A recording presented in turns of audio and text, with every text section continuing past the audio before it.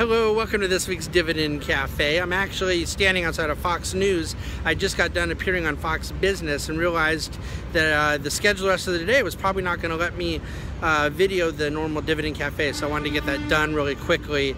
Apologize for any volume related issues. It's been a really interesting week in the markets. A lot of flat days, but earnings season going very much the way we would have expected. Um, the oil prices have continued to move higher, and there's been total political disasters, and yet the markets have completely shrugged it off. Um, if you read dividendcafe.com this week, you'll see we really do believe tax reform is a moment of reckoning for markets. Now, we don't say that pessimistically because, frankly, we believe that the tax reform is going to get done, and that's what I was just talking about on Fox a moment ago.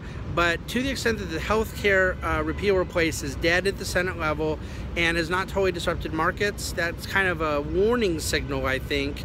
Um, but I do not believe markets will be so gracious if indeed they were to fail with tax reform all indications that they have this teed up much better. Secretary Mnuchin has led the charge, and I think that their I's are going to be better dotted, T's better crossed.